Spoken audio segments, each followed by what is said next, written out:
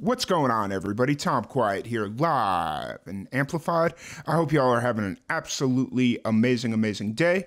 We are back with another traditional Reacts video, and no, it is not Sunday, but I saw this video pop up on my feed shortly after I released this past Sunday's episode and was like, I want to react to this. I have to react to it now. Um, and so I decided to uh, release this a couple days after our traditional reacts video. Um, so the video I'm talking about is from Emma McGann. Uh, if you're not familiar with her, she is a musical Twitch streamer.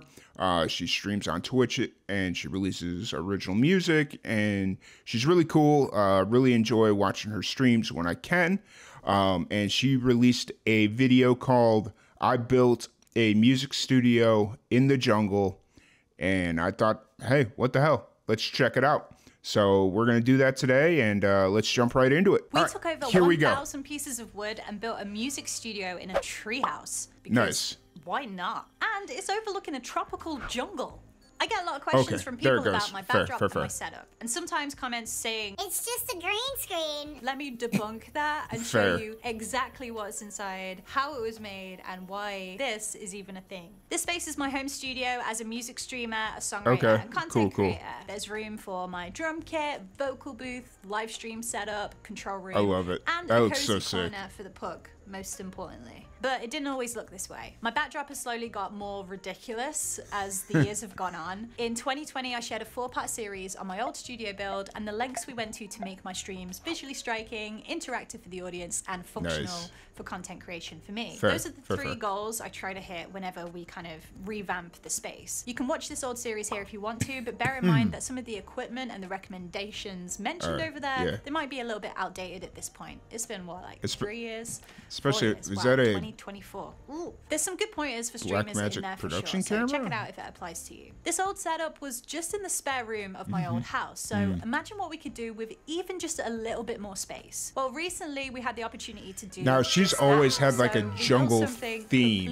I feel like in her streams. Anything you've ever seen before. So the build. First step was the interior plan, and for mm. this we used Unreal Engine 5 to plot out the exact measurements of the room before committing to the build itself. This meant nice. we could kind of trial different layouts before laying cables, outlets, and equipment, and it gave us a visual of how the space would work overall. Nowadays, I'm using Unreal Engine for so many creative projects. Maybe some of you guys have seen the four music videos from my last EP, The Monsterverse. All of those That's videos cool. were virtually produced inside of Unreal Engine. It's an incredibly versatile tool that I never shut up about. In this instance, it really helped us with the room design in the very early stages, and it also helps power a pretty vital visual feature of the treehouse behind me, but more on that later. So on day one of the build, we had the Sweet. shell of a log cabin as our blueprint and treated and sprayed every single piece of wood separately before we built it. And it took forever.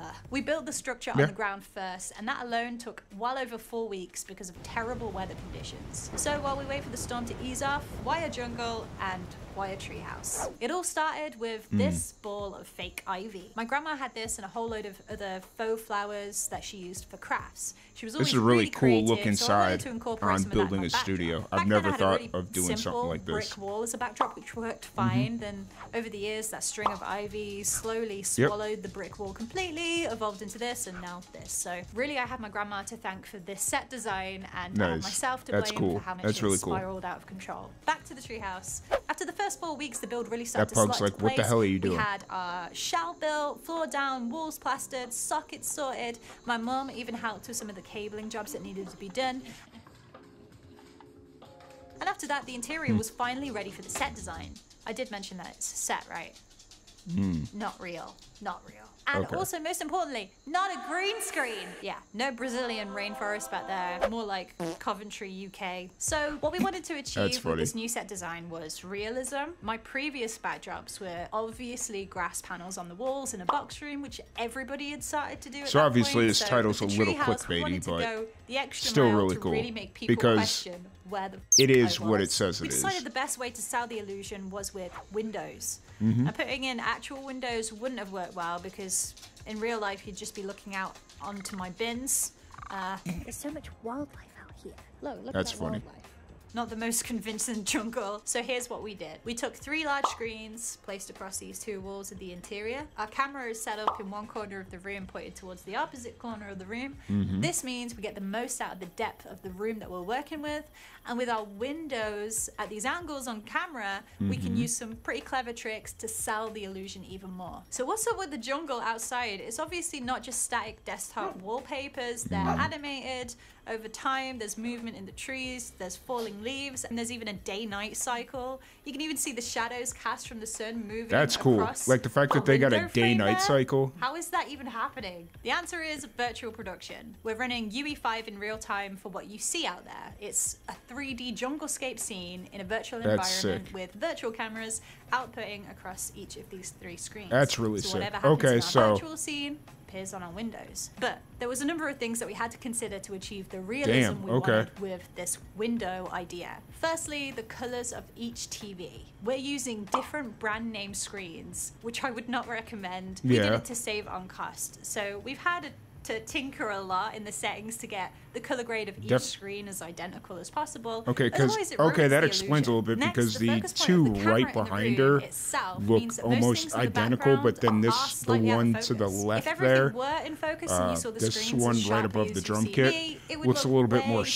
saturated. It also means that because But it also could be- focus, we don't yeah. have to run this junglescape scene with all these 3D models within Unreal at its highest quality. So Hmm. we save on the processing power, we don't put too much pressure on the hundreds of hamsters on their wheels powering up the PCs that run Unreal Engine Live. Everyone's a winner. Huh, Next that's was the interesting. depth of the window frames. We wanted these to appear quite deep to create a kind of realistic perspective. So That's cool. your eye tells you that you're not just looking at a flat screen. What we did was we added a wooden object virtually in the scene to pose as the inner window frame in 3D.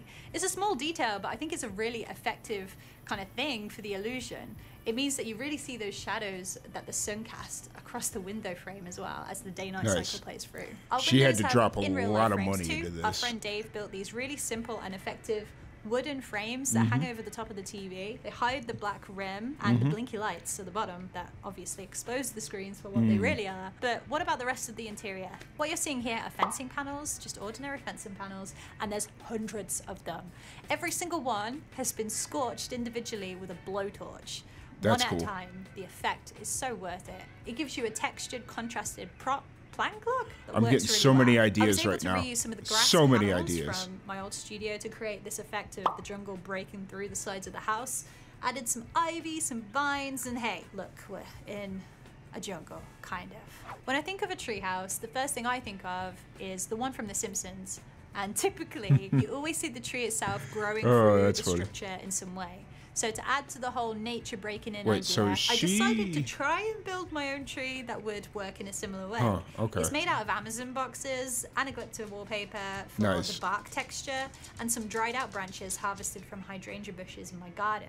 Another reason for the tree, and probably the main reason, was for my dog to have a cozy and very elaborate uh, dog bed where she can cuddle up. You know, like that That's scene funny. from Lord of the Rings where they're hiding from the screeching things into the tree roots. Mm-hmm. It's like that, but more cozy, less screeching, less hobbit feet. And now she finally has a space to guard the ring that rules them all. And I guess the last reason for the tree is so that it appears like those branches are holding up the roof up there. I'm super pleased with the result. It, it looks kind of cool. And it doubles up as a hidey hole for all the shit that I usually leave around the studio so people don't think I'm messy. Fair. It's a winner. There's so many things that And it's also because that of haven't where it's at in the The shot. vocal If it's slightly out of patching, focus, the ways people interact you uh, can't- with the even if you could tell, like, just to looking at into, it, that it's not a- like, these in future videos. In the realistic looking tree, but because it's you think of the Treehouse Studio so just out of focus, any of my Twitch streams uh, to see it in action if you want. I it- go live. it looks pretty Mondays, realistic. Wednesdays, That's cool. Fridays, and Sundays from 9 p.m. UK time. We always do live music, either Mm-hmm. on guitar, vocals, or on drums these days as well. And every song That's we cool. play is picked by people in chat. Also, comment below if you have any questions about the build, about Unreal Engine, or anything relating to your own setups. I'll be happy to help. I'm gonna have to look into Unreal Engine, building although- set for you, always think with functionality in mind Mm-hmm. 1st How is it going to help you create content easier? As a pointer, here's a reminder of those three goals I mentioned earlier that I try to achieve whenever we're kind of working on the space. Number one, it has to be visually striking. Number two, try and make it interactive mm-hmm. for viewers if that's something that you do. And number three, most importantly, needs to be functional for you. I have a lot of people to Yep, yep. thank for their help in the build of this thing. Uh, especially say, patrons on Patreon and our video- community on Twitch who largely This build me had to make be insanely thing, expensive. So thank you guys. On hand for the build, a huge thanks to my partner James, who headed up a lot of the technical aspects and Mm-hmm. continues to do that in the background. Our good friend Al, who helps with a lot of the custom coding that we need. Our friend Dave, who Nice. helped with the build of the structure inside and out. Our families and friends who chipped in across the year, Mm. uh, hammering nails, soundproofing walls, and a whole lot more. And a special thanks to my mum, she was with us during the build and like i said helped on the days that she could. We lost her in october. Oh. one thing that she wanted me to do was to use this space as much as possible and enjoy it. Um, i'm happy she got to see it be built and being in here writing and creating makes me feel close to her. So the biggest thank you is for my mum. Thank you very much for watching this crazy video of this nonsense. Hope to see you on a twitch That's really soon. cool. bye That's a really cool Twitch build. I love it so much. Nice. That one hits a little too close to home.